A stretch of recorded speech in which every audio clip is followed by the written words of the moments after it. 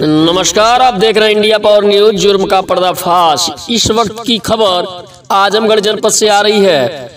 दो बारह दो हज़ार बीस को श्री पन्नेलाल पुत्र मनीराम निवासी चिल्ली रामपुर थाना सरपतहा जिला जौनपुर ने थाना स्थानीय पर शिकायत दर्ज कराई कि मेरी बेटी रेखा की शादी गुड्डू पुत्र फूलचंद निवासी ग्राम उड़ली थाना सराय ख्वाजा जिला जौनपुर के साथ दस वर्ष पूर्व हुई थी।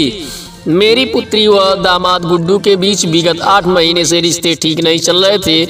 पुलिस अधीक्षक सुधीर कुमार सिंह द्वारा अपराध इनामी अभियुक्तों की गिरफ्तारी अभियान के दृष्टिगत अपर पुलिस अधीक्षक नगर श्री पंकज पांडे व क्षेत्राधिकारी सदर के कुशल निर्देशन में दिनांक चार बारह दो हज़ार बीस को प्रभारी निरीक्षक जहानागंज श्रीमती ज्ञानुप्रिया, मैं हमरा द्वारा मुखबिर की सूचना पर मुकदमा अपराध संख्या दो सौ सतहत्तर आबलिक दो हज़ार बीस, धारा एक सौ सैतालीस, एक सौ अड़तालीस, एक सौ उनचास, तीन सौ दो से संबंधित अभियुक्तगण गुड्डू पुत्र फूलचंद, ब्रिजेश पुत्र फूलचंद निवासीगढ़ उड़ली थाना सराय ख्वाजा जिला जौनपुर, संतोष पुत्र मंजेश, हरेंद्र उर्फ़ भूपेंद्र पुत्र मंजेश शैलेश पुत्र मंजेश निवासीगढ़ अमदही थाना जहानागंज को समय छह बजकर पाँच मिनट पर परदेसी मोड़ से गिरफ़्तार किया।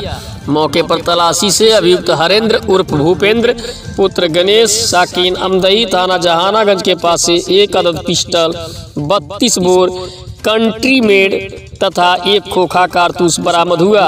बरामदगी के आधार पर मुकदमा अपराध संख्या दो सौ सतहत्तर अबलीग दो हज़ार बीस में धारा तीन बटे पच्चीस बटे सत्ताईस आर्म्स एक के तहत अभियुक्त गणों का चालान अपराध संख्या दो सौ सतहत्तर अबलिक दो हज़ार बीस, धारा एक सौ सैंतालीस, एक सौ अड़तालीस, एक सौ उनचास, तीन सौ दो व तीन बटे पच्चीस बटे सत्ताईस आर्म्स एक्ट के अंतर्गत चालान माननीय न्यायालय को किया गया।